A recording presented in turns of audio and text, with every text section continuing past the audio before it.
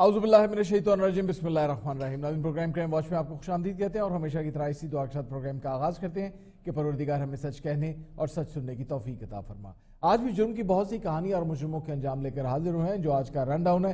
اس کے اندر طلبہ یونینز کا معاملہ شامل ہے۔ طلبہ یونینز کے حوالے سے احتجاج کیا گیا، لوگوں کو گرفتار کیا گیا، مقدمات درج کیے گئے۔ اب کیا صورتحال ہے؟ اس کے اوپر بات کریں گے۔ اس کے علاوہ اس سابق مسلم لیگی رکن صوبائی اسمبلی کی بھی بات کریں گے، جس پر لکڑی چوری کا مقدمہ درج کر لیا گیا۔ یہ مقدمہ حقیقت پر مبنی ہے یا واقعتاً اس کے خلاف کوئی سیاسی انتقام کیا جا رہا ہے؟ اور اس ماں کا بھی ذکر کریں گے، جس کے بیٹے کو ساتھ سات سال قبل قتل کر دیا گیا تھا اور ماں نے یہ قسم کھائی تھی کہ جب تک وہ اپنے بیٹے کے قاتل کو انجام تک پہنچتا نہ دیکھ لے، پاؤں میں جوتا نہیں پہنے گی۔ اور آج جب عدالت سے اس قاتل کو بری کر دیا گیا تو ماں نے اپنے ہاتھوں سے اپنے بیٹے کے قاتل کو قتل کر دیا۔ جو ان کی کہانیاں کچھ اور بھی ہیں پروگرام کے اندر جو شامل کریں گے، آغاز کرنا ہے پروگرام کا اور اس سے پہلے اپنے پینلسٹ کا آپ کے ساتھ تعارف کروانا چاہوں گا۔ خواجہ محسن ہمارے ساتھ آج پروگرام کے اندر شامل ہے ماہر قانون ہے، اپنے شعبے سے متعلق اپنی آرا کا اظہار کرتے رہیں گے۔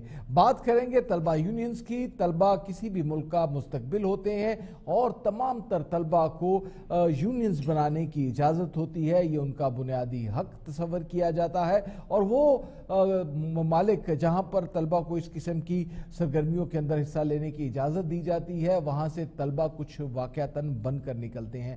ملکی سیاست ہو یا کاروبار ہو یا پھر کوئی اور جاب ہو، وہاں پر وہ اپنے آپ کو منواتے ہیں۔ لیکن بدقسمتی سے ایک طویل عرصہ ہو گیا پاکستان کے اندر طلبہ یونینز کے اوپر پابندی لگی ہے۔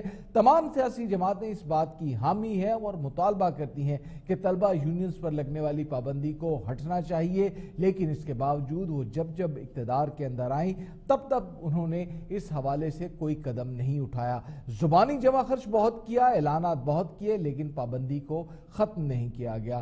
اور اگر اب ہم بات کر لیں پاکستان تحریک انصاف کی، تو پاکستان تحریک انصاف جو اقتدار کے اندر پہلی مرتبہ آئی ہے، ان کی جانب سے بھی یہ کہا جا رہا ہے کہ طلبہ یونینز کے اوپر پابندی نہیں ہونی چاہیے، مشروط قسم کی ان کو اجازتیں ملنی چاہیے، لیکن اس کے باوجود عملی طور کے اوپر اس حوالے سے کچھ نہیں کیا جا رہا۔ تاہم، وہ طلبہ جو اپنے حق کے لیے مظاہرہ کر رہے تھے، ان پر یہ الزام لگایا جا رہا ہے کہ انہوں نے ریاستی اداروں کے خلاف، اہم شخصیات کے خلاف نازیہ زیبا کلمات کہے جو انہیں ہرگز نہیں کہنے چاہیے تھے، ان کے خلاف مقدمات درج کر لیے گئے۔ ایک طالب علم کو گرفتار کر لیا گیا اور طلبہ یونینز کے نمائندگان کا کہنا یہ ہے کہ شاید اس طالب علم کو لاپتہ کر دیا گیا ہے۔ آج ان طلبہ نے عدالتوں کے ساتھ رجوع کیا۔ ہمارے ساتھ ہمارے رپورٹر نئی مختر موجود ہیں۔ ان سے جان لیتے ہیں ان طلبہ کے بارے میں، جن کے بارے میں یہ کہا جاتا ہے کہ انہیں لاپتہ کر دیا گیا یا وہ طلبہ جن کے خلاف مقدمات درج کر لیے گئے، ان کا بنا کیا ہے۔ جی نہیں مختر جی بالکل صاحب سیشن کورٹ نے، نامزد ملزم امار علی، جان اور کامل خان کی بری درخواست مانت پچاس پچاس ہزار کے مچل کے جمع کرانے پہ پیش کر منظور کر لیا ہے۔ آج انہیں سیشن کورٹ لاہور میں، دونوں ملزموں کو سیشن کورٹ لاہور میں پیش کیا گیا تھا۔ دونوں ملزموں کی جانب سے راج سہیل ایڈوکیٹ پیش ہوئے تھے۔ عدالت نے تھانہ سیول لائن پولیس سے مکمل رپورٹ سولہ دسمبر تو اس کو طلب کر لی ہے۔ دونوں طالب علموں کے دونوں طالب علم آج عدالت میں پیش ہوئے تھے۔ وکلا کا کہنا تھا کہ دونوں طالب علم بے قصور ہیں پولیس نے سولہ ایم پی او اور نقص امن عامہ اور حکومت کے خلاف نعرے بازی کے مقدمات درج کیے ہیں، جو کہ جھوٹ پر مبنی ہے عدالت نے دونوں طالب علموں کی عبوری ضمانت، درخواست ضمانت پچاس ہزار کے مشرقے جمع کرانے پر منظور کر لی ہے، جبکہ مال روڈ پر ایک ریلی نکالنے والے ایک ملزم عالمگیر جی کو گرفتار کر کے کینٹ کچہری میں پیش کیا گیا تھا، جس کو عدالت نے جوڈیشل ریمانڈ پر چودہ روز کے لیے جیل بھجوا دیا ہے۔ پولیس اہلکاروں نے عالمگیر کو بھی سیکورٹی خدشات کے باعث عدالت میں پیش نہیں کیا تھا۔ عدالت نے پولیس کی عدالت میں پولیس نے طالب علم کے جسمانی ریمانڈ لینے کی استدا کی تھی، اسے عدالت نے مسترد کر دیا۔ عدالت نے چودہ روز کے لیے ملزم کو جوڈیشل ریمانڈ پر جیل بھجوا دیا اور سترہ دسمبر کو اس کیس کا تمام ریکارڈ طلب کر لیا ہے۔ جی۔ بہت بہت شکریہ نعیم اختر۔ آپ کا ایک اچھی خبر یہ ہے کہ ان طالب علموں میں سے جنہوں نے احتجاج کیا یا جو طلبہ یونینز کی بحالی کا مطالبہ کر رہے تھے، ان میں سے کوئی بھی لاپتہ نہیں ہے۔ ان کے بارے میں علم ہے۔ ہے ان کے خلاف کیا مقدمہ درج کیے گئے ہیں اور جن عالمگیر صاحب کا ذکر کیا جا رہا ہے اور سب سے پہلے جن کے حوالے سے احتجاج کیا گیا تھا، وائس چانسلر پنجاب یونیورسٹی کے دفتر کے باہر، ان کو بھی جو ہے وہ بتا دیا گیا ہے کہ وہ پولیس کی کسٹڈی کے اندر ہیں اور اس وقت جوڈیشل کے اوپر ان کو بھیجوا دیا گیا ہے۔ جبکہ پنجاب یونیورسٹی کا اس حوالے سے موقف یہ سامنے آیا کہ عالمگیر نام کا جو طالب علم بتایا جا رہا ہے، وہ جامعہ پنجاب کا ہرگز طالب علم نہیں ہے۔ جب طلبہ نے مال روڈ کے اوپر شارع قائد اعظم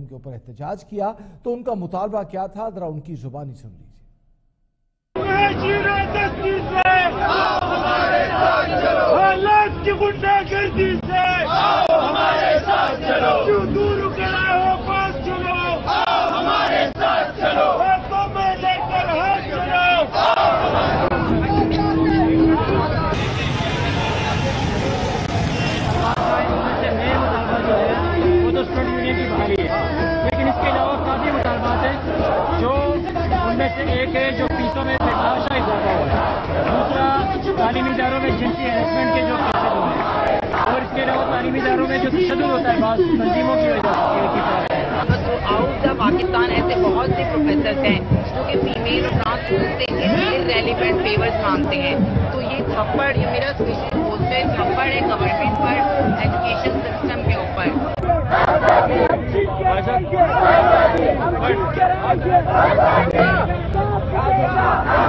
ہم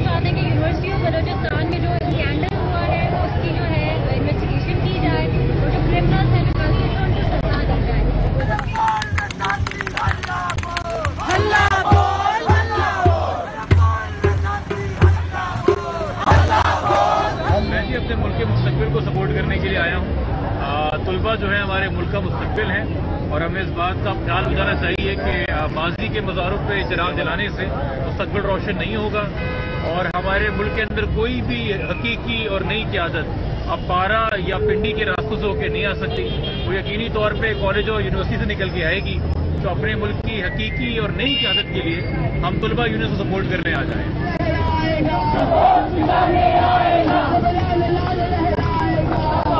Domine.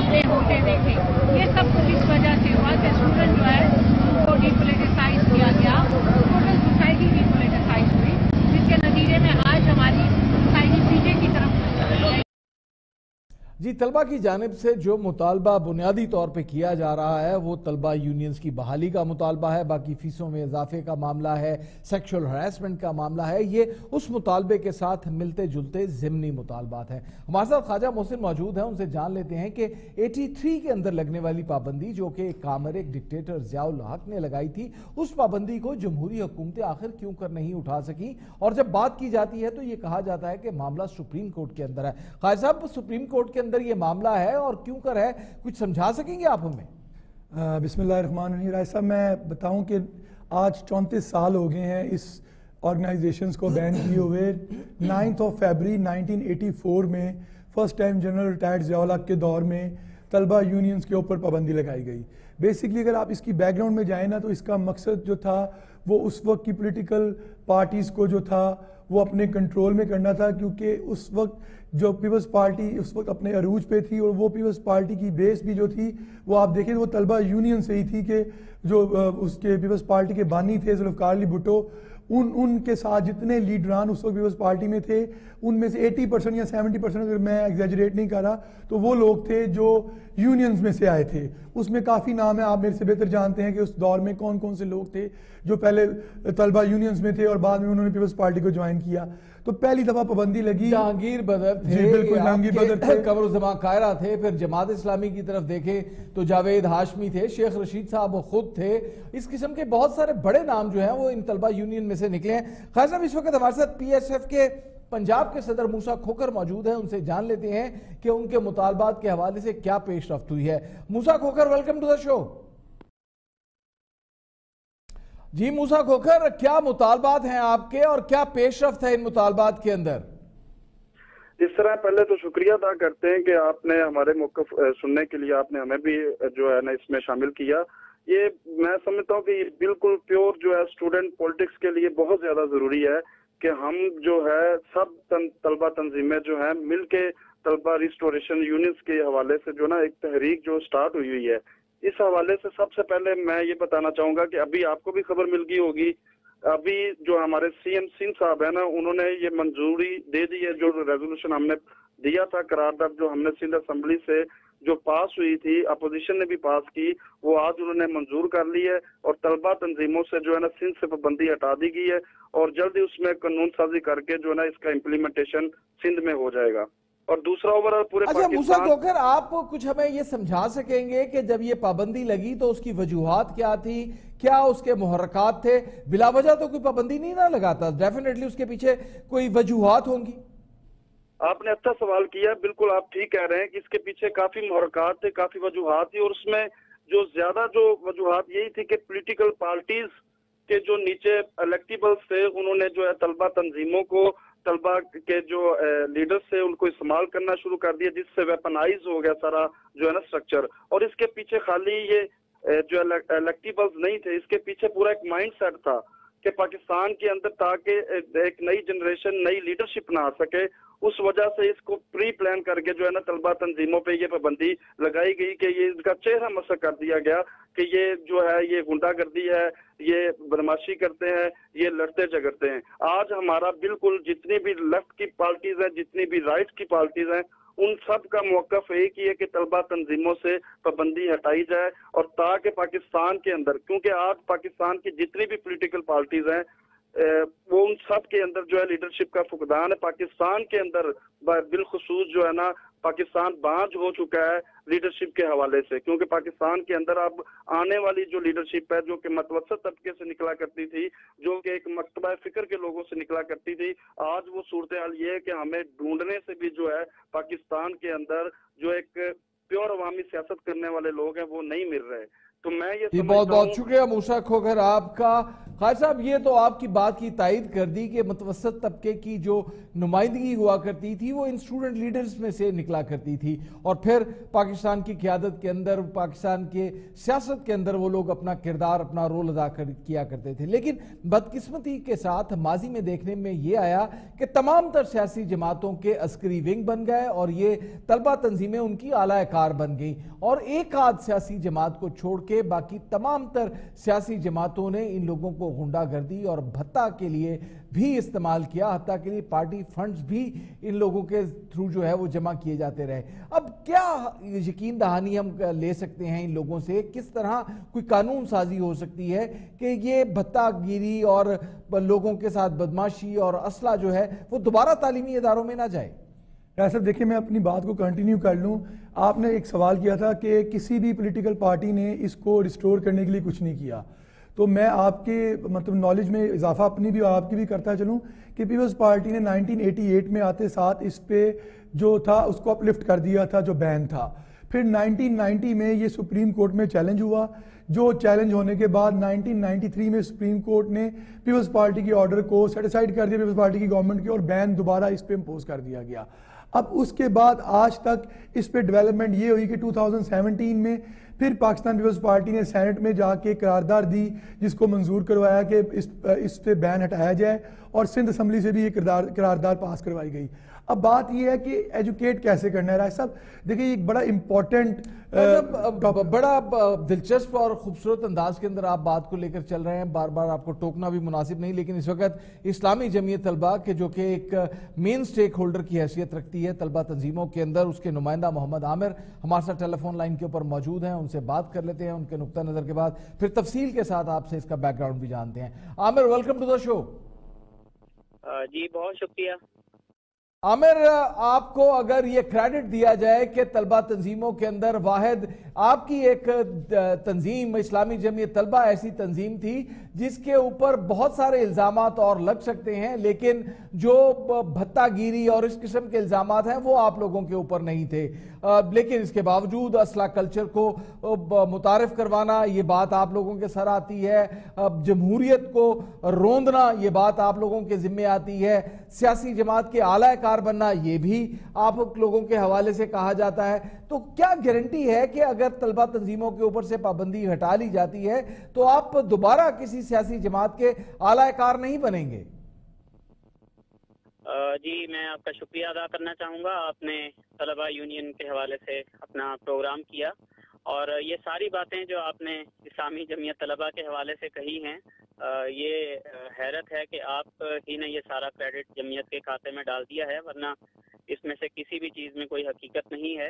اور دوسرا یہ کہ اگر یونین پر پابندی عمر میں نے یہ بات تمام طلبہ تنظیموں کے حوالے سے کی ہے لیکن آپ کو ایک جو بینیفٹ آف ڈاؤٹ دے رہا ہوں وہ یہ ہے کہ آپ کی جانب سے کبھی اس قسم کے الزامات نہیں ہے کہ بھتہ گیری کی ہے انہوں نے کسی سے کوئی ٹیکس لیا ہے۔ آپ لوگوں کے اوپر اس قسم کا کوئی الزام منظر عام پر نہیں آیا۔ دیکھیے، جو وائلنس کے الزامات ہیں پاکستان کے تعلیمی اداروں میں، وہ کسی ایک تنظیم کو اس کا ذمہ دار قرار نہیں دیا جا سکتا۔ اور نہ ہی کسی ایک تنظیم کو اس میں سے مائنس کیا جا سکتا ہے۔ اس بات کو ہم تسلیم کرتے ہیں کہ پاکستان کے اداروں میں وائلنس ہوا اور اس میں بڑا کردار یونین پر پابندی کی وجہ سے ہی رہا۔ جب آپ نے تعلیمی اداروں کے اندر اس مثبت سرگرمی کو بند کر دیا کہ جس کے اندر طلبہ پارٹیسپیٹ کرتے تھے، اپنے نمائندے چنتے تھے، اپنی بات کرتے تھے، تو یہ پورا کلچر پاکستان کے اداروں میں آیا ہے کہ جو جہاں تھا وہ وہاں بیٹھ گیا ہے۔ اسلامی جمعیت طلبہ بھی کئی جگہوں پہ اس وائلنس کا شکار رہی ہے، لیکن جمعیت نے گزشتہ پینتیس سالوں میں جب سے سے پابندی لگی ہے۔ ان تمام جمہوری روایات کو پاکستان کے تعلیمی اداروں میں زندہ رکھا ہے۔ طلبہ کے اندر اس کلچر کو زندہ رکھا ہے کہ ان کی اپنی تنظیمیں ہونی چاہیے، ان کی اپنی یونینز ہونی چاہیے اور جہاں تک آپ کے سوال کا تعلق ہے کہ اگر کل کو پھر یونین بحال ہو جاتی ہے تو اس بات کی کیا گارنٹی ہے کہ وہ سارا وائلنس یا وہ جو پالیٹکس ہے، جو سیاسی جماعتوں کا ایجنڈا ہے، وہ تعلیمی اداروں میں نہیں آتا۔ تو اس کے لیے اسلامی جمعیت طلبہ کا موقف یہ ہے کہ ہم سب کو بیٹھ کے سیاسی قیادت کو بھی اور تعلیمی اداروں کے سبراہان کو وائس چانسلرز کو اور طلبہ نمائندوں کو بیٹھ کے ایک ذابطہ اخلاق طے کرنا چاہیے اور جس طرح وزیر اعظم صاحب نے کل بیان دیا ذابطہ اخلاق تو عمر پہلے بھی ہوا کرتے تھے لیکن وہ ذابطہ اخلاق روندے جاتے تھے اور وائلنس کالیجز کے اندر آ جاتا تھا پھر انہی لڑکوں میں سے لوگ ڈکیت بھی بنتے تھے بڑے بڑے نامور اجرتی قاتل بھی بنے۔ اگرچہ ان کا تعلق اسلامی جمعیت طلبہ کے ساتھ نہیں تھا لیکن وہ نام کسی سے ڈھکے چھپے نہیں ہیں نہ ان تنظیموں کے اور نہ ان لوگوں کے۔ جی جی دیکھیے، ہمارے پاس دو آپشن ہے نا جی۔ یا تو اس آئینی ادارے کو جو بیسک ہیومن رائٹ ہے، ہر اسٹوڈنٹ کا بند رہنے دیا جائے یا یہ ہے کہ اس کو ہم نے اوپن کرنا ہے، آگے بڑھنا ہے، سیاسی کلچر ملک کے اندر لے کے آنا ہے۔ تو اگر آپ آگے بڑھیں گے تو آئیڈیالزم پہ تو ایک دم سے نہیں جایا جا سکتا کہ آج یونینز بحال ہوں اور کل کو تشدد اور باقی ساری نیگیٹو چیزیں ایک دم سے ختم ہو جائیں۔ یہ جمہوری پروسیس چلنے کے نتیجے میں ہی چیزیں بہتر ہوں گی۔ جیسے پروسیس چلنے سے خود جمہوری جماعتوں نے پاکستان کے اندر بہت کچھ لرن کیا ہے۔ اسی طرح طلبہ بھی اپنی غلطیوں سے سیکھیں گے اور ایک دوسرے کے ساتھ مل بیٹھیں گے، دلیل سے بات کریں گے۔ تو اچھا اچھا کلچر پاکستان کے تعلیمی اداروں میں پروان چڑھے گا۔ لیکن اگر آپ اس آپ پر الزام یہ بھی لگایا جاتا ہے جامعہ پنجاب کے اندر تو آپ جمہوریت برداشت نہیں کرتے کوئی اور طلبہ تنظیم اپنا فنکشن کرنے کی کوشش کرے تو اس کو سیبوٹائز کر دیا جاتا ہے۔ دیکھیے، میں نے آپ سے یہی عرض کیا ہے کہ یہ کلچر پاکستان کے تمام تعلیمی اداروں میں، یہ صرف جامعہ پنجاب میں نہیں ہے، قائد اعظم یونیورسٹی پچھلے سال ایک مہینہ بند رہی ہے۔ جامعہ پنجاب تو کبھی ایک دن کے لیے بھی بند نہیں ہوئی۔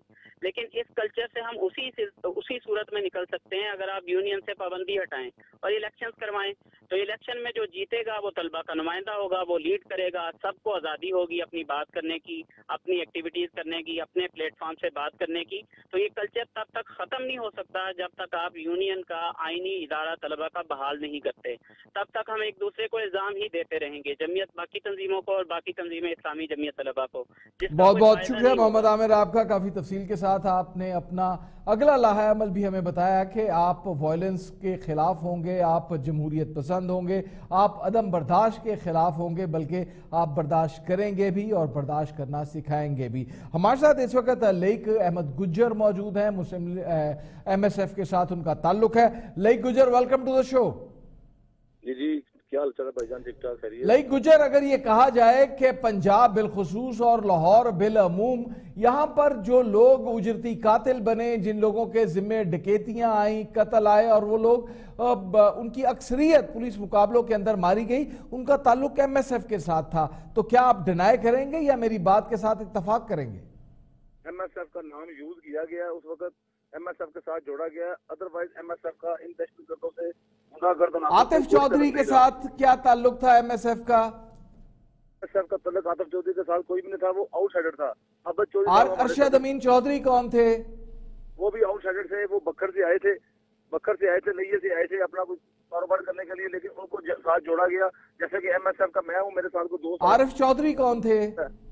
عارف چودھری صاحب بھی ایم ایس ایف کے تھے لیکن ان کا ایم ایس ایف کے ساتھ کوئی تعلق نہیں تھا۔ وہ ایم ایس ایف کے لیڈروں کے دوست تھے جنہوں نے آگے انہوں نے گنڈا لیڈروں کے دوست تھے لیکن اس کے باوجود بعد جو ہے وہ خود لیڈر بن گئے اور صدر کہلواتے رہے خود کو کبھی کوئی گروپ بنا لیا کبھی وہ پنجاب کے صدر بنے اور پھر کبھی پاکستان کے صدر بنے۔ اینی ہاؤ اب آگے آپ کا لاہ عمل کیا ہے؟ لیک کیا یہ معاملات ایسے ہی چلتے رہیں گے یا دیگر تنظیموں کی طرح آپ نے بھی یہ ٹھانا ہے یہ سوچا ہے کہ اپنی اصلاح بھی کرنی ہے؟ جو مسلم اسٹوڈنٹ فیڈریشن ہے، وہ منظم جماعت ہے۔ ہمارا جو منشور ہے، وہ جو نج کاری ہو رہی ہے اسکولوں، تعلیمی اداروں میں، جو غریب گھرانے کے لوگ پڑھ رہے ہیں یہاں پہ اسکولوں میں، کالجوں میں، یونیورسٹیوں میں، ان کے ساتھ جو آپ دیکھ رہے ہیں کہ نج کاری ہو رہی ہے، ہم نج کاری کے خلاف طلبہ تنظیمیں ہونی چاہیے۔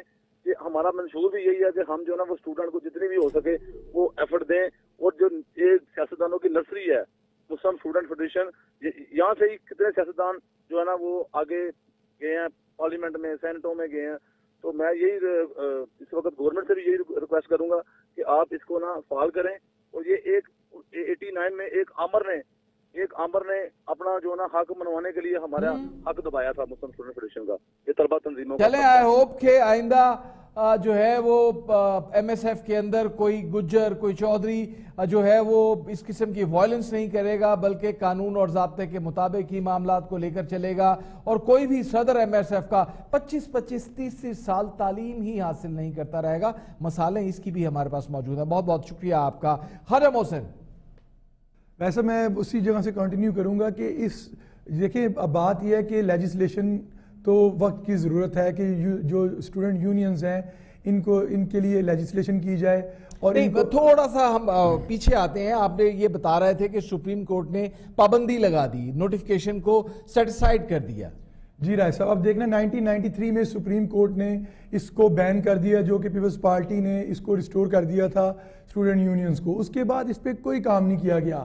اب دیکھنا یہ ہے کہ لیجسلیشن تو دیکھیں سپریم کورٹ کی ججمنٹ کے باوجود اس ججمنٹ کا مطالعہ کیا جائے اور دیکھا جائے کہ کس گراؤنڈز کے اوپر اس کو بین کیا گیا تھا، تو اس کو آپ ریفائن کر کے آپ اس کو دیکھ کے اس ججمنٹ کے مطابق اس میں لیجسلیشن کر سکتے ہیں اور آپ اسٹوڈنٹ یونینز کو اجازت دے سکتے ہیں ملک میں کہ وہ اپنا کام کر سکیں مگر دیکھنا یہ ہے کہ بات آپ کی کہ اس یہ جو لیٹ ایٹیز کا ٹائم تھا اور ارلی نائنٹیز کا ٹائم تھا، اس دور میں اسٹوڈنٹ یونینز نے اس ملک میں بہت زیادہ لڑائی جھگڑے بھی ہوئے جو جیسا کہ آپ نے ہاں بالکل جیسا کہ آپ نے ایم ایس ایف والوں کے نام لیے کہ خوف کی علامت ہوتا تھا۔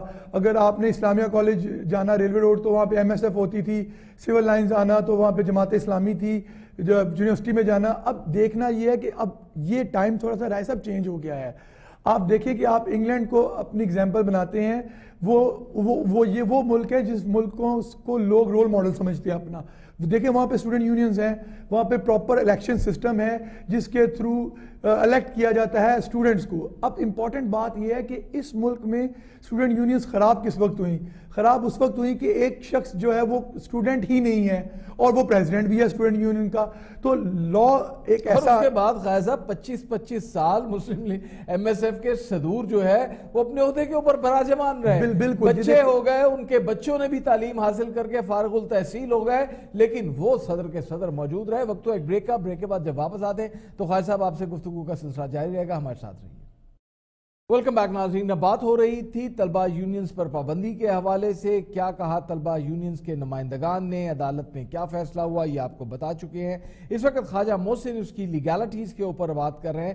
خواجہ صاحب، جن ممالک کی آپ نے مثال دی، برطانیہ کی اور دیگر ممالک کی، وہاں پر طلبہ تنظیموں کی سیاست کے اندر ملکی سیاسی جماعتیں انوالو نہیں ہوا کرتی اور وہ اپنی انڈیپینڈنٹ باڈی کے طور کے اوپر کام کرتی ہیں۔ یہاں پر جماعت اسلامی کی جو ذیلی تنظیم ہے وہ اسلامی جمعیت طلبہ ہے، مسلم لیگ نون کی ایم ایس ایف ہے پیپلز پارٹی کی پی ایس ایف ہے، تحریک انصاف کی آئی ایس ایف ہے۔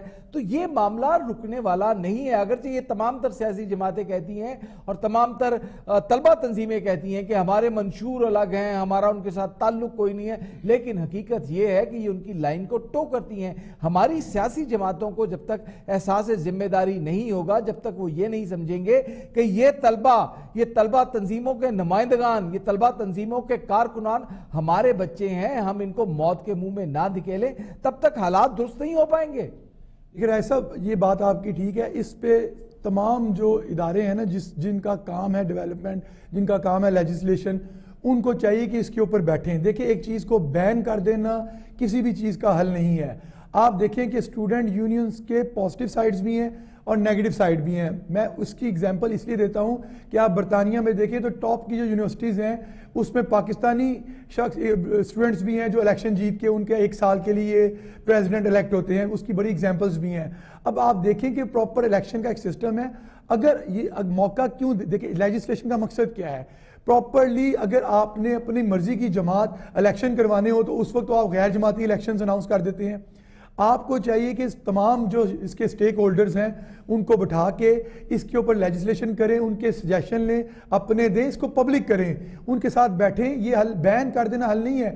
دیکھیں، اس کے لیے سب سے امپورٹنٹ بات یہ ہے کہ ان کے ساتھ بیٹھ کے اس چیز کو طے کریں کہ جو پریزیڈنٹ ہوگا، اس کا ٹنور ایک سال کا ہوگا، تاکہ اگلے شخص کو موقع دیا جائے ٹرن ٹرن بائی ٹرن آیا جائے۔ یہ نہیں کہ ایک شخص اگر اپنے آپ کو انرول کرتا ہے یونیورسٹی میں اور وہ فیل ہو کے پچیس سال یونیورسٹی میں رہتا ہے اور اس کا پریزیڈنٹ رہتا ہے، یہاں پہ آ کے جو ہے نا ساری چیز خراب ہوتی ہے۔ جب وہ آپ کی بات کہ ایک شخص پچیس سال تو اسٹوڈنٹ نہیں رہ سکتا۔ اس کا مطلب ہے اس کے موٹیوز اور ہیں۔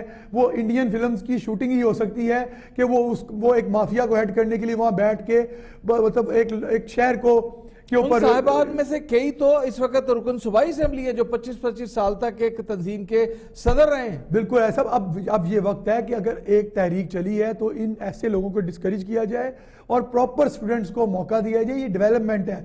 دیکھیے سٹوڈنٹ لائف میں جب جو لوگ اس طرح کی سٹرگل کر کے آگے آتے ہیں۔ لا محالہ آپ دیکھیں، ان ان ان لوگوں نے ہی پاکستان کو سرو کرنا ہے۔ ایک کانفیڈنس بلڈ ہوتا ہے۔ ایسے نہیں ہے کہ آپ ایک شخص کو لا کے بٹھا دیں اور پھر کہیں اس سے ملک نہیں چل رہا۔ یہ ایگزامپلز ایسی ہزاروں پاکستان میں ہیں کہ ایسے ایسے شخص کو بھی لا کے اس ملک کا پرائم منسٹر لگا دیا گیا جو ایک رات پہلے تک پاکستان میں رہتے بھی نہیں تھے۔ اور جمہوریت میں بھی ایسی مثالیں ہیں کہ جس کو جس کے ساتھ آپ کی لائن سیٹ ہوگی، لا دیکھیں یہ ڈیولپمنٹ ہے، ایک پروسیجر ہے۔ جو اسٹوڈنٹ اس پروسیجر میں سے گزرے گا، اس کی ایک سٹرگل ہوگی، وہ سرو کر سکے گا۔ ہم نے لا کے اس کی ایگزامپل میں آپ کو وزیر اعلیٰ پنجاب کی دے دیتا ہوں کہ اس دن پرویز الہی صاحب سپیکر پنجاب اسمبلی اپنے ایک انٹرویو میں کہہ رہے تھے، ہم ان کو سکھا رہے ہیں۔ تو خدا رہا سکھانا جو ہے، اس کا وہ اسٹوڈنٹ لائف میں اس کا پروسیجر ہے۔ اس اس کا ٹائم ہے۔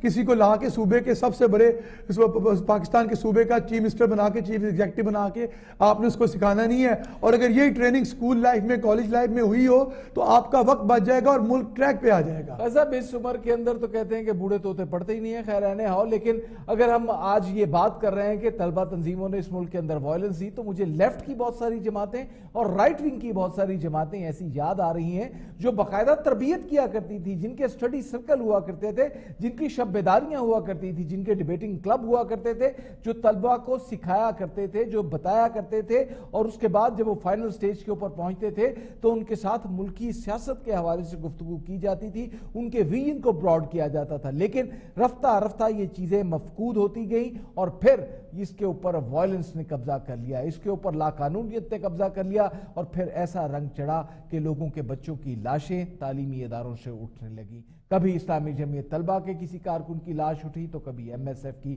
کبھی کیو ایس ایف اور کبھی پی ایس ایف اور کبھی اے این پی کے اسٹوڈنٹ ونگ کے طلبہ کی لاشیں یونیورسٹی اور جامعات سے اٹھنے لگی تو بہتر تو یہی تھا کہ ان لوگوں کو درست کیا جاتا لاہ عمل بنایا جاتا، ضابطہ اخلاق بنایا جاتا، لیکن ڈکٹیٹر یہ چاہتا ہے کہ ہر چیز اس کی منشا کے مطابق آنکھ بند کرے اور آنکھ کھولنے پر وہ ختم ہو جائے اور اس کی منشا کے مطابق چیزیں چلنے لگیں۔ ایسا نہیں ہوا کرتا، چیزوں کو ترتیب دینی پڑتی ہے، ان کے لیے قانون سازی کرنی پڑتی ہے۔ اور جیسے کہ خواہ صاحب نے کہا کہ اس حوالے سے ایک ضابطہ اخلاق کو مرتب کرنا ضروری ہے اور کاش کہ اس ضابطہ اخلاق کے اندر یہ شک رکھ لی جائے کہ جو بھی سیاسی جماعت جماعت کسی طلبہ تنظیم کی سرپرستی کرے گی، اسے لائن دے گی یا ان کے ساتھ کسی قسم کا رابطہ رکھے گی، اسے ہمیشہ ہمیشہ کے لیے بین کر دیا جائے گا اور اس کے سربراہ کو قید و جرمانے کی سزا دی جائے گی۔ اسی طرح لوگوں کے بچے بھی بچ سکیں گے اور طلبہ تنظیمیں ایک بہتر انداز کے اندر، مربوط انداز کے اندر طلبہ اور طالبات کی خدمت بھی کر سکیں گے۔ اگلی کہانی کی طرف آپ کو لیے چلیں۔ اگلی کہانی دلچسپ بھی ہے، عجیب و غریب بھی ہے۔ یہ معاملات الزامات کی حد تک ہے، یا واقعتاً اس کے اندر کوئی حقیقت ہے، یہ تو ہمیں ہمارے رپورٹر بتائیں گے۔ لیکن جو الزام لگایا جا رہا ہے، وہ الزام یہ ہے کہ مسلم لیگ نون کے سابق رکن صوبائی اسمبلی اور ان کے والد کے خلاف لکڑی چوری کا مقدمہ درج کر لیا۔ گیا ہے۔ مقدمہ درج کیا گیا ہے پاکستان تحریک انصاف کے دور میں۔ اب اس الزام کے اندر، اس مقدمے کے اندر کس حد تک صداقت ہے اور کس حد تک جھوٹ ہے، یہ تو عدالت ہی بتا سکے گی، لیکن معاملات کس انداز کے اندر چل رہے ہیں، یہ جانتے ہیں اپنے رپورٹر سمیع اللہ سے۔ جی سمیع اللہ۔ جی یہ سرکاری لکڑی پاس پتن کے علاقہ موچی پورا کے قریب سے برامد ہوئی ہے اور اس کی مالیت پانچ لاکھ کے قریب بتائی جا رہی ہے۔ اور یہاں یہ لکڑی ایم پی اے ہاؤس کی تزئین و آرائش میں استعمال کرنے کی غرض سے آرے پر کٹوائی کے لیے لائی گئی تھی۔ مگر مخبر کی اطلاع پر جب پکڑی گئی تو ملزم نے لکڑی جو تھی وہ ذاتی ہونے کا دعویٰ کر دیا۔ مگر ملکیت یہ کون ایم پی اے صاحب ہے ان کا نام بھی تو بتائیے جن کے ڈیرے سے جن کے گھر سے اتنی قیمتی لکڑی برامد ہوئی ہے جو سرکار کی تھی؟ جی یہ ایم پی اے نوید صاحب کے والد ہیں، جن کے ڈیرے سے اور گھر سے یہ لکڑی برامد ہوئی ہے۔ اور ان کا، انہوں نے فوری طور پر دعویٰ کر دیا کہ یہ جو لکڑی ہے، یہ میری ذاتی ہے۔ لیکن محکمے نے جب پوچھ گچھ کی تو کچھ ثابت نہ کر سکے، جس پر محکمے کی جانب سے مقامی ایم پی اے کے والد رانا احمد علی اور اس کے دو پرسنل سیکرٹری سمیت پانچ افراد کے خلاف جب مقدمہ درج کیا گیا تو یہ لوگ محکمہ جنگلات کے افسران کو دھمکیاں دینے لگے کہ یہ لکڑی جو ہے یہ چھوڑ دو ورنہ آپ کا انجام اچھا نہیں ہوگا۔ یہ کوئی دھمکیاں دینا یا لکڑی چوری کرنا، یہ کوئی پہلی دفعہ ایسا معاملہ نہیں ہوا۔ یہ یہ ان لوگوں کا وطیرہ ہے۔ اس سے پہلے بھی یہ اس قسم کی متعدد وارداتوں میں ملوث پائے گئے ہیں۔ دنگے فساد کرانا، سرکاری اداروں کے خلاف غلیظ زبان استعمال کرنا، لوگوں کو اداروں کے خلاف اکسانا، ان کا پرانا کھیل ہے۔ اور اگر کوئی صحافی اس کو ہائی لائٹ کرتا ہے، تو اسے بھی، اس پر بھی جان لیوا حملے کروائے جاتے ہیں۔ جھوٹے مقدمات درج کروا دیے جاتے ہیں۔ سمیع اللہ آپ کی ان اراکین صوبائی اسمبلی سے بات ہوئی ہے۔ آپ نے ان سے پوچھا ہے کہ آپ پر یہ الزام لگایا جا رہا ہے۔ آپ کے والد کہتے تھے یہ لکڑی ہماری ہے ملکیت ثابت نہیں کر سکے اور جب گرفتار کیا گیا تو وہ دھمکیوں دینے کے اوپر اتر آئے۔ تو ان رکن صوبائی اسمبلی کا کیا کہنا تھا؟ جی اس حوالے سے ہم نے بارہا رکن صوبائی اسمبلی سے رابطے کی کوشش کی ہے، مگر رکن صوبائی اسمبلی کی جانب سے نہ ہی تو ہماری کال اٹینڈ کی گئی ہے اور نہ ہی کوئی ان کے ترجمان کی جانب سے سلسلہ میں کسی قسم کی تردید کی گئی ہے۔ اگر ملزم کے رانے احمد علی کی اگر بات کریں تو ان کی جانب سے عام روٹین میں تو قسمیں اٹھائی جاتی ہیں کہ میں اگر کرپشن کروں تو میرا فلاں مر جائے، یہ ہو جائے، وہ ہو جائے۔ لیکن اب جب یہ اسکینڈل سامنے آیا تو جو حقیقت تھی وہ اس کے بالکل ہی برعکس نکلی۔ ہے جی۔ سمیولہ ایف آئی آر میں کون سی دفعات لگائی گئی ہیں؟ ایف آئی آر میں تین سو اناسی لگائی گئی ہے اس کے ساتھ ہی پانچ سو چھ بھی لگائی گئی ہے پانچ سو چھ جو کہ رانی احمد علی کی جانب سے سنگین نتائج کی دھمکیوں پر لگائی گئی ہے۔ اور ملزمان کو گرفتار کر لیا گیا ہے۔ نہیں نہیں ملزمان جو تھے وہ لکڑی چھوڑ کر موقع سے فرار ہو گئے تھے جس کے بعد محکمہ جنگلات نے یہ لکڑی جو تھی وہ پولیس کو بلایا اور پولیس کی تحویل میں دے دی۔ اس آخری سوال آپ سے کرنا چاہوں گا سمیع اللہ آپ کے علاقے کا کوئی عام آدمی لکڑی چوری کر کے ایسے فرار ہو سکتا ہے دھمکیاں دینے کے بعد؟ جی ایسا ممکن ہی نہیں ہے کہ عام آدمی کوئی لکڑی تو بڑی دور کی بات، کوئی مسواک ہی کسی جنگل سے یا کسی سرکاری درخت سے اتار کر فرار ہو جائے، موقع پہ ہی کاروائی ہوتی ہے، موقع پہ ہی پولیس کے حوالے کر دیا جاتا ہے اور ایک مسوار کی جو ہے مسواک ہے، اس کی بڑی بڑی گیلیاں، بڑی بڑی لمبائی چڑائی بتائی جاتی ہے، مگر یہاں پہ ایسا نہیں ہوا۔ لکڑی کی بھاری مقدار تھی، لیکن جو ایف آئی آر میں شو کروائی گئی ہے وہ صرف چار سے پانچ لاکھ کے درمیان اس کی مالیت بتائی گئی ہے۔ اور ابھی تک اس سلسلے میں ایم پی اے یا ایم پی اے کے والد صاحب جو ملزمان ہیں ان کے کان پر جوں تک نہیں رہیں گی۔ یہاں تک کہ انہوں نے کورٹ میں بیل بھی اپلائی نہیں کی کہ وہ انہیں پولیس گرفتار ہی نہ کر لے۔ اس قدر اس کی ان کے ان لوگوں کی ملزمان کی اس علاقے میں دہشت ہے۔ جی۔ اور نہ ہی ان کے خلاف کوئی بات کرنا یا ان کی کوئی مختری کرنا یہاں پہ پسند کرتا ہے۔ کہ اگر ایسا بہت بہت شکریہ سمیع اللہ آپ کا ہم کوشش کر رہے تھے کہ ان رکن صوبائی اسمبلی میاں نوید علی کے ساتھ ہمارا رابطہ ہو سکے تاکہ ان کا موقف بھی سامنے آ سکے کہ کہیں انہیں سیاسی انتقام کا نشانہ تو نہیں بنایا گیا، لیکن ہمارے پروڈیوسر صاحب، ہمارے پینل کے اوپر جو لوگ بیٹھے ہوئے ہیں، وہ بتا رہے ہیں کہ ان کے رویے سے شیئر ثابت ہوتا ہے کہ شاید اس معاملے کے اندر وہ کسی نہ کسی حد تک ملوث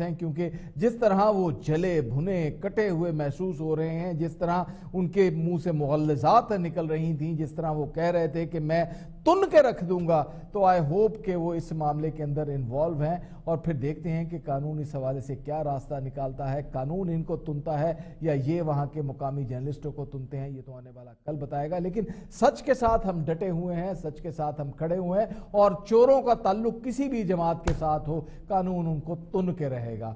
خواجہ صاحب، کیا کہیں گے آپ؟ یہاں پر دو ہی سیاسی جماعتیں ہیں، ایک اشرافیہ کی ہے، ایک غریب لوگوں کی ہے۔ یہ تحریک انصاف مسلم لیگ نون پیپلز پارٹی یہ تو سب ڈھکوسے سے محسوس ہوتے ہیں۔ جو اشرافیہ سے تعلق رکھتا ہے، وہ چوری کرے، لکڑی کی یا زیور کی، اس کو پکڑنے والا کوئی نہیں۔ اور غریب آدمی جو ہے، اس نے کچھ نہ بھی کیا ہو، خالی الزام لگ جائے، تو وہ جیلوں کے اندر جلتا سڑتا رہے گا۔ ایسا میں آپ کی اس بات سے بالکل اتفاق کرتا ہوں کہ یہاں پہ دو نہیں، ایک ایک نہیں، دو پاکستان والی جو بات ہے نا، بلکہ دو نہیں، ایک پاکستان والی بات، یہ اس کو ریورس کر لیں۔ اس ملک میں اسی کا پاکستان ہے جس کے پاس طاقت ہے۔ اور آپ آج دیکھ سکتے ہیں کہ بے شک یہ مسلم نون کے ایم پی اے ہم نے کسی جماعت کو ڈیفینڈ نہیں کرنا۔ جس جماعت سے بھی کوئی بھی ملزم یا مجرم جو جس جماعت سے بھی اس کو ایکسپوز کرنا چاہیے۔ اور اس کو اس حد تک ایکسپوز کرنا چاہیے تاکہ اس کی جو لیڈرشپ ہے آئندہ ایسے شخص کو ٹکٹ دیتے ہوئے بھی سوچے کہ اس کا کردار کیا ہے۔ مگر افسوس سے کہنا پڑتا ہے کہ جس کے پاس ووٹ بینک ہوتا ہے یا جس کے پاس پیسے ہوتے ہیں یا جس کے پاس طاقت ہوتی ہے وہ کامیاب ہو جاتا ہے۔ یہ اس سسٹم کی ناکامی ہے۔ بالکل وہ کامیاب ہو جاتا ہے۔ تو رائے صاحب یہ دیکھیں پھر ہم پہلے اپنے ٹاپک کے ساتھ اگر اس ٹاپک کو اٹیچ کریں اگر ہم نے آج موقع دیا ہوتا اس ملک میں لیڈرشپ کو پیدا کرنے کا تو یہ جو مافیا ہے، یہ اس وقت اس مافیا کا جسے کہتا ہے خاتمہ نہ ہوا ہوتا تو کسی حد تک کم ہو چکی ہوتے پرابلم یہ ہے کہ جب آپ نے قسم کھا لی کہ آپ نے اس ملک میں لیڈرشپ پیدا ہی نہیں کرنی مین موٹیو جو ہے اس یونینز کو بند کرنے کا وہ یہ ہے کہ لیڈرشپ مت آئے۔ آپ ان کا بیک گراؤنڈ دیکھ لیں تو وہ آپ نے نام لیا جہانگیر بدر کا، شیخ رشید کا، جوید ہاشمی کا، یہ کوئی لینڈ لارڈ نہیں تھے۔ یہ وہ لوگ تھے جنہوں نے اپنے محنت پہ، اپنی ایجوکیشن کے بل بوتے پہ اس ملک کی پولیٹکس پارٹیز کو سرو کیا پولیٹیکل پارٹیز کو سرو کیا۔ اب آپ دیکھیں جب آپ سرو ہی نہیں کرنے دیں گے تو پھر جو مافیا بیٹھا ہوا ہے وہی سرو کرے گا نا؟ وہ لکڑیاں ہی چوری کرے گا۔ وہ لکڑیاں ہی چوری کرے گا کیونکہ آپ اگر ان کی بیک گراؤنڈ چیک کریں گے تو ان کے باپ بھی ایم پی اے تھے جی۔ ان کے دادا بھی تھے اچھا خیزہ میں یہاں پر آپ کو روکنا چاہوں گا۔ اس وقت میاں نوید علی ہمارے ساتھ ٹیلی فون لائن کے اوپر موجود ہیں۔ میاں نوید کچھ دیر پہلے کافی غصے کے اندر تھے لیکن شاید انہیں اپنی غلطی کا احساس ہو گیا ہے۔ میاں نوید نے آج خود فون کیا ہے وہ اپنا پوائنٹ آف ویو دینا چاہتے ہیں۔ سو ان سے بات کر لیتے ہیں۔ میاں نوید کا نقطہ نظر جان لیتے ہیں کہ ان کو کہیں سیاسی انتقام کا نشانہ تو نہیں بنایا جا رہا یا واقعتاً وہ اس کبھی فیل کے اندر ان کے والد یا ان کے اہل خانہ میں سے کوئی ملوث ہے۔ میاں نوید صاحب، آپ کے حوالے سے کچھ الزامات منظر عام پر آ رہے ہیں، ایف آئی آر کاٹی گئی ہے کہ لکڑی چوری کے اندر آپ کے والد مبینہ طور کے اوپر ملوث ہیں۔ اس الزام کو آپ کیسے ڈیفینڈ کریں گے؟ جی سب سے پہلے تو تھینک یو سو مچ آپ نے مجھے لائن پہ لیا اور میرا موقف آپ سن رہے ہیں۔ اچھا پہلی بات یہ ہے کہ یہ آئی تھنک جو بھی آپ تک یہ انفارمیشن پہنچی ہے، یہ ایک موقف ہے، دوسرا موقف نہیں ہے۔ دوسری بات یہ ہے کہ یہ جو لکڑی کی آپ بات کر رہے ہیں، یہ لکڑی ہم نے کوئی دو ہزار تیرہ، چودہ میں پرچیز کی تھی ایک پرائیویٹ وینڈر سے اور اس کی رسیدیں ہمارے پاس موجود ہیں۔ یہ کوئی تین یا چار ہم سوری ٹو سے آپ کو شاید برا لگے، لیکن جو حقیقت ہے، جو سچائی ہے، وہ یہ ہے کہ تین سے چار کوئی صحافی ہیں۔ وہ کوئی اپنے پرسنل معاملات ہاں، ان کے ہیں، ہمارے پولیٹیکل ان کے ساتھ۔ تو وہ ہمیشہ اس داؤ پہ رہتے ہیں کہ جی کوئی ایسا معاملہ سامنے آئے تو ہم اس کو دیکھیں، اس کو لے کے چلیں۔ تو یہ ساری ان کی گیم ہے۔ باقی الحمدللہ ہم ہمارا بیٹ میں جنگلات والے آپ کی طرف نہیں آئے پولیس والوں نے ایف آئی آر نہیں کاٹی یہ صحافیوں نے ایف آئی آر کاٹ دی؟ نہیں صحافیوں نے بڑا زور لگایا اپنا بڑا کردار ادا کیا ٹھیک ہے۔ وہ ایک رکن صوبائی اسمبلی سے زیادہ باثر ہے وہاں پر؟ جناب جناب جناب جو محکمہ جنگلات ہے ان میں سے دو کے تین جو بندے تھے انہوں نے مدیت دینے سے بھی انکار کر دیا۔ اور یہ ایک شمون صاحب مجھے پتہ لگا یہ مدعی بنے ہیں۔ تو میں نے ایس ایچ او صاحب کو یہاں تک کہہ دیا تھا کہ جی میرے بندے بھی آ جاتے ہیں اور یہ شمون صاحب کو بھی بلا لیں آپ۔ یہ اپنا چیک کروا دیں کہ بھی کہاں سے لکڑی چوری ہوئی ہے اور کہاں پہ یعنی یہ سارا کچھ ہوا ہے۔ اگر وہ کہتے ہیں تو ٹھیک ہے، ہم پہ آپ ایف آئی آر دیں پرچہ بھی کریں واٹ ایور جو بھی ہے۔ لیکن اس میں ایک چیز جو ہے وہ یہ ہے کہ ایف آئی آر میں میرا نام کہیں بھی نہیں ہے، لیکن میڈیا چینلز نے وہ نام چلایا اور میں سمجھتا ہوں کہ یہ ایک انتہائی غیر اقدامی قدم ہے کہ ایف آئی آر میں جب میرا نام نہیں ہے، ٹھیک ہے، میرے والد صاحب کا نام آیا ہے وہ ٹیبر جو بھی آیا ہے، تو آئی تھنک میڈیا کو بھی دیکھنا چاہیے کہ وہ کیا کردار ادا کر رہے ہیں، کیا نہیں کر رہے۔ میرا خیال ہے کہ میڈیا نے کہیں پر بھی یہ نہیں کہا کہ آپ پر کوئی الزام ہے یا آپ کے خلاف ایف آئی آر کاٹی گئی ہے۔ انہوں نے یہی کہا کہ آپ کے رشتہ داروں کے خلاف آپ کے والد کا نام بھی بڑے احترام کے ساتھ لیا گیا۔ حالانکہ ان کے خلاف ایف آئی آر درج ہوئی ہے چوری کی، لیکن ہم نے احترام کے ساتھ ان کا نام لیا اور یہ کہا کہ میاں نوید کے والد صاحب کے خلاف چوری کی ایف آئی آر درج کی گئی ہے۔ میاں نوید صاحب، آپ کیا سمجھتے ہیں کہ یہ جو تمام تر معاملہ ہے، مقامی سیاست ہے یا اس کے اندر جو مرکزی سیاست ہے، وہ بھی انوالو ہے اور آپ کو پولیٹیکل وکٹمائزیشن کا نشانہ بنایا جا رہا ہے؟ نہیں جی میں بالکل اس کو پولیٹیکل وکٹمائزیشن نہیں کہوں گا۔ یہ کو تین چار صحافی ہیں جو آپ نے ان کو سرکردہ کیا ہوا ہے۔ سوری ٹو سے لیکن وہ کچھ ایسے عناصر ہیں کہ جن کو، جن جو ٹاؤٹ مافیا ہے اور ان کا روزگار جو ہے وہ بلیک میلنگ ہے۔ اور وہ آپ کا چینل یوز کر کے تو انہوں نے کمائی کا ذریعہ بنایا ہوا ہے۔ یہ بس ان کا طریقہ کار ہے اور کچھ بھی نہیں ہے باقی میاں نوید صاحب یہ بات تو میں آپ کو یقین کے ساتھ کہہ سکتا ہوں کہ دن ٹی وی کوئی ایسی خبر نہیں چلائے گا جو ہوا کے اندر ہو۔ یہ ایف آئی آر درج کی گئی ایک سرکاری ڈاکومنٹ تھا اور اس ڈاکومنٹ کی بنیاد کے اوپر ہم نے خبر دی ہے۔ اگر کسی اور چینل نے کوئی وداؤٹ ڈاکومنٹ آپ کے والد کو چور بنا دیا ہے تو اس کے لیے وہ چینل ذمہ دار ہے۔ ہم نے تو ڈاکومنٹس دیکھ کر بتایا ہے کہ آپ کے والد کے خلاف چوری کا مقدمہ درج کیا گیا ہے۔ آپ کے دو سیکٹریز کو اس چوری کے اندر انوالو کیا گیا ہے۔ اور جیسے کہ آپ کہہ رہے ہیں کہ پولیٹیکل وکٹمائزیشن نہیں ہے، تو یوں محسوس ہوتا ہے کہ وہاں کے مقامی صحافی آپ سے زیادہ طاقتور ہے اس سسٹم کے اندر، اس نظام کے اندر ان کی گرپ زیادہ ہے جنہوں نے یہ ایف آئی آر درج کروا دی اور مدعی بھی بن گئے۔ جی بالکل آپ کی بات درست ہے۔ جیسے گھر روٹی نہیں پکتی وہ دی ماں دے کہن تے وہ صحافی بن گئے ہے ٹھیک ہے میں تے کل چھوٹی کردا کوئی نہیں باقی رہ کے دن ٹی وی کی دین ٹی وی یہ بالکل نیوز پبلش کرے گا کہ یہ ایف آئی آر جو غلط تھی، ہم نے تردید کر دی ہے ٹھیک ہے؟ یہ آپ کریں گے، ٹھیک ہے؟ جی میاں نوید صاحب، ہم یہ ضرور بتائیں گے کہ میاں نوید کا کلیم یہ ہے کہ ان کے والد کے خلاف جو چوری کی ایف آئی آر پولیس نے درج کی ہے، میاں نوید یہ کہتے ہیں کہ یہ ایف آئی آر جھوٹی ہے اور اس کے اوپر کوئی ثبوت نہیں۔ اور میاں نوید صاحب، آخری سوال آپ سے یہ کرنا چاہوں گا، جیسے کہ ابھی آپ نے یہ بات کو تسلیم کیا، اس معاملے کو یہ کہا کہ وہ مقامی صحافی جو آپ کے خلاف یہ خبریں بنوا رہے ہیں، آپ کے خلاف ایف آئی آر کٹوا دی، کتنے سٹرونگ ہوں گے وہ لوگ۔ تو ایسی صورتحال کے اندر آپ کو استعفیٰ نہیں دے دینا چاہیے۔ چاہیے جہاں پر آپ کی چلتی نہ ہو آپ کے والد کے خلاف ایف آئی آر چوری کی درج ہو جاتی ہو۔ دیکھیں بہت اچھی بات ہے کہ ہماری خلاف ایف آئی آر درج ہو رہی ہے۔ ہماری چلتی نہیں ہے ہم ایم پی ہیں ٹھیک ہے؟ اور اگر اس بات اگر آپ سسٹم کو درست نہیں کر سکتے میاں صاحب تو پھر آپ کے ایم پی اے رہنے کا جواز کیا ہے؟ اے بھائی میری بات سن لیں۔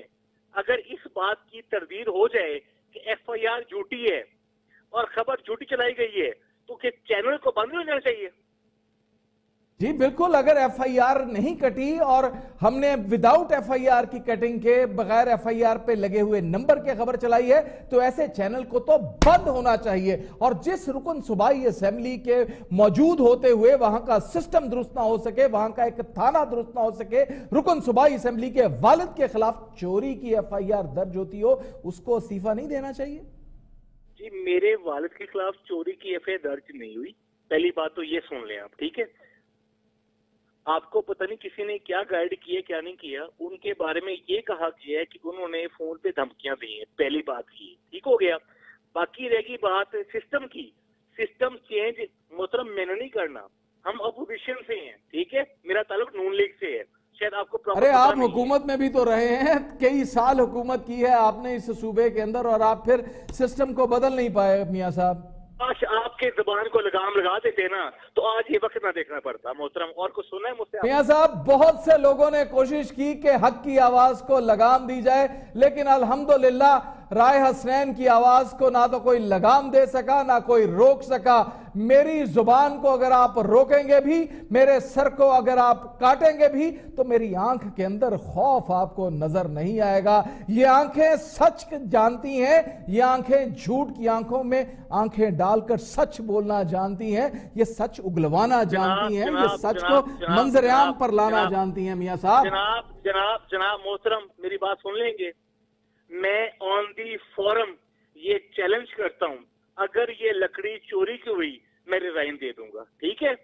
میاں صاحب آپ کو ریزائن دے دینا چاہیے ایسی صورت کے اندر اور اگر یہ ایف آئی آر آپ کے خلاف جھوٹی درج کی گئی ہے تو ہم آپ سے بھی یہ توقع رکھتے ہیں کہ اس تھانے کے تمام تر افسران کے خلاف کم از کم تحریک استحقاق تو آپ لے آئیں گے نا؟ وہ جو ایم پی اے جن کی کوئی نہیں سنتا جن کی کوئی بات اپنے گھر کے اندر نہیں سنتا تحریک استحقاق تو وہ بھی لے آیا کرتے ہیں۔ آئی ہوپ کہ آپ تحریک استحقاق ضرور لے کر آئیں گے اگر یہ ایف آئی آر جھوٹی ہوئی۔ بہت بہت شکریہ میاں نوید آپ کا۔ جی خواجہ صاحب what's your take on this news Rai صاحب دیکھیں بڑا مجھے افسوس سے کہنا پڑتا ہے کہ ایک کویسچن تھا اور بڑی ایک لیگل بات تھی کہ ایک ایف آئی آر رجسٹر ہوئی ہے۔ مگر مجھے ان کے ایٹیٹیوڈ سے لگ رہا تھا کہ کوئی چینل والا انٹرویو نہیں کر رہا اور وہ اپنے ڈیرے پہ بیٹھ کے کسی کے ساتھ کسی کو تھریڈ کر رہے ہیں ایگزیکٹلی جیسے ڈیرے پہ تھریڈ کر رہے ہیں۔ دیکھیں وہ اور ان کی جو لینگویج تھی ان کو یہ زیب نہیں دیتی تھی۔ مطلب یہ لینگویج ایک الیکٹڈ ایم پی اے کو بالکل زیب نہیں دیتی۔ ہو سکتا ہے ان کے ساتھ زیادتی ہوئی ہو اور اس بات کو آپ نے بھی آن ایئر کہا کہ اگر وہ دیکھیں اپنا کویسچن اس طرح کرتے نا کہ اگر یہ ایف آئی آر جھوٹی ہوئی تو کیا دن نیوز اس کی تردید چلائے گا؟ تو میرا خیال ہے کہ اس میں کوئی لڑائی والی بات نہیں تھی۔ اور اگر تو کہیں پہ بھی یہ نہیں کہا کہ میاں نوید کے والد چور ہیں۔ ہم نے تو یہ کہا کہ ان کے خلاف ایک ایف آئی آر درج کی گئی جس کے ثبوت جن کے ڈاکومنٹس ہمارے پاس موجود ہیں۔ دیکھیں پہلی بات تو یہ کہ ان کا جو اگریشن تھا نا جیسے آپ کے نمائندے نے کہا وہ پہلے ہی تیار تھے کہ انہوں نے اپنی صفائی میں کچھ نہیں کہنا، انہوں نے بلیم گیم دوسرے شخص پہ ڈال دینی ہے۔ اور بڑے افسوس کے ساتھ کہنا پڑتا ہے کہ اگر اس شخص، ایسے ایم پی اے کا آپ ایٹیٹیوڈ دیکھیں اگر آن ایئر ایٹیٹیوڈ یہ ہے تو ان کا اپنے حلقے کی عوام کے ساتھ ایٹیٹیوڈ کیا ہوگا؟ مگر اللہ پاک مہربانی کرے اس حلقے کی عوام کے اوپر بھی بڑے افسوس کے ساتھ کہنا پڑتا ہے کہ ایک ایلیگیشن ہے، آپ اس کو پروو کریں، ابھی اس کا پلیٹ فارم ہے کہ انویسٹیگیشن اور اپنی انویسٹیگیشن جوائن کریں، اس انویسٹیگیشن آفیسر کو بتائیں کہ آپ کے اوپر یہ ایف آئی آر غلط رجسٹر ہوئی ہے یا اس کی کویشمنٹ میں ہائی کورٹ میں آ جائیں۔ مگر یہ تو اور پھر اس کے خلاف کاروائی کریں۔ کاروائی کریں یہ ایف آئی آر جھوٹی کاٹی ہے غلط کاٹی ہے پھر ان کے خلاف کاروائی کریں۔ اور وہ جو میں نے کہا خواہ صاحب کہ جو بے ضرر سے ایم پی اے ہوتے ہیں نا جو پورا پورا سال گھر کے اندر نہیں بات کرتے جن کے اسمبلی کے اندر آواز نہیں نکلتی گھر والے ان کو دوسری دفعہ شاید سالن بھی نہیں دیتے۔ ایسے لوگ بھی تحریک استحقاق تو دائر کر دیتے ہیں اور آئی ہوپ کہ میاں نوید اس تحریک استحقاق کے حوالے سے ضرور دائر کریں گے۔ رائے صاحب دیکھیں یہ چھوٹا معاملہ نہیں ہے۔ اگر دیکھیں وہ کہتے ہیں، میں اپوزیشن میں ہوں، ان کی اس بات کو مان لیتے ہیں۔ مگر جو آپ نے بات کی کہ تحریک پیش کرنے کے لیے تو ایک رکن کے سائن ہی ہے نا جو اپنے کولیگ سے کروانے ہیں اور پیش کرنی ہے۔ مگر افسوس کے ساتھ کہنا پڑتا ہے، آپ دیکھ لینا، نہ کوئی تحریک پیش ہونی ہے۔ بے گناہ یہ ہو جائیں گے کیونکہ انہوں نے جب اس بات کو آن ہی نہیں کیا ہے کہ پولیٹیکل وکٹمائزیشن ہے، تو اس کا مطلب ہے کچھ تو رازداری ہے۔ اس کا مطلب یہ ہے کہ وہ جو لڑائی ہے، اس کو وہ ان صحافیوں کے اوپر ڈالنا چاہتے ہیں جو کہ اپنے علاقے میں، آپ آپ کو پتہ ہی ہے کہ چھوٹے شہر میں صحافی کی بھی کتنی طاقت ہوتی ہے۔ وہ تو اپنا اپنا جو سارا جو کام کرنا ہے، وہ تو آپ لوگوں کی طرف دیکھ رہے ہوتے ہیں۔ مگر انہوں نے ان کو اتنا طاقتور مافیا بنا کے پیش کیا ہے کہ مجھے خود لگ رہا تھا کہ یہ کسی صحافی کی نہیں کسی چینل کے آنر کی بات کر رہے ہیں کہ وہ تین صحافی ان سے کنٹرول میں نہیں آ رہے اور ان کا کہنا جا کہ وہ صحافی ان کے خلاف کمپلینٹ ہے بڑے افسوس کی بات ہے کہ بالکل جی ہم یہ سمجھتے ہیں کہ اگر واقعتاً ان صحافیوں نے یا پولیس کے عملے نے ان کے ساتھ زیادتی کی ہے تو ہم ان کے ساتھ کھڑے ہوں گے میاں نوید کے ساتھ ہوں گے۔ ہمارے نزدیک ایک رکن صوبائی اسمبلی کا بہت زیادہ احترام ہے۔ ہم یہ چاہتے ہیں کہ رکن صوبائی اسمبلی جو کہ ہمارا نمائندہ ہوتا ہے اس کی عزت و وقار ہو۔ لیکن اگر وہ چور ہے تو پھر اس کو لٹکانا بھی سر بازار چاہیے۔ پروگرام کا وقت ختم ہوا چاہتا ہے اپنے میزبان رائے حسنین کو اجازت دیجیے اور اپنا بہت سا خیال رکھیے کیونکہ آپ ہی تو ہیں پاکستان۔